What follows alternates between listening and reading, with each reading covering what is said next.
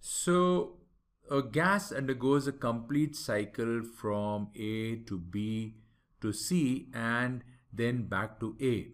Now the question is what is the net energy added to the system during this complete cycle?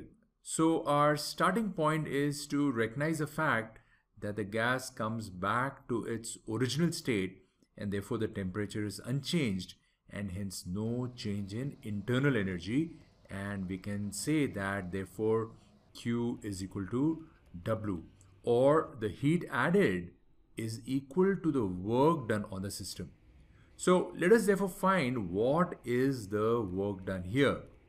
So you can see from A to B the work done is area under the curve AB which is equal to half into 30 plus 10 into 3 which is equal to 60 joules and this is positive work since the volume is expanding.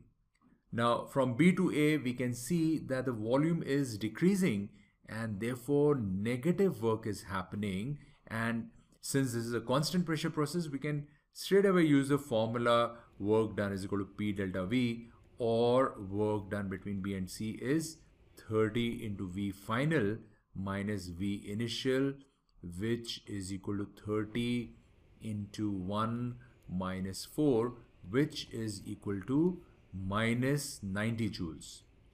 Now from C to A we can see that the volume is not changing hence the work done is 0. So through the cycle the work done is WAB plus WBC plus WCA which is equal to 60 minus 90 plus 0 which is equal to minus 30 joules.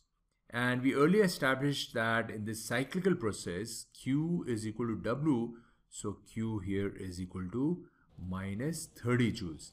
And if you recall from our lesson on the first law of thermodynamics, a negative quantity of Q indicates a loss of heat by gas and therefore here the gas has lost 30 joules of heat.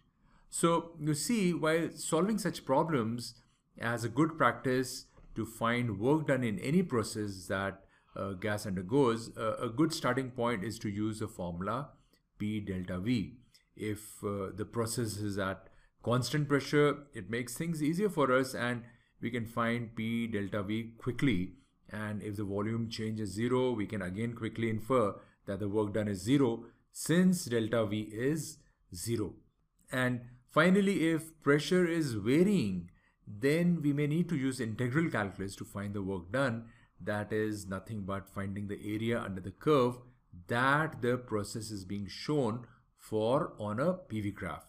Also, when you can see that the area under a curve of a process is a geometric figure uh, like a rectangle or a triangle or a, a trapezoid, you can you, you do not need to use integral calculus. You can find the area using simple geometry only.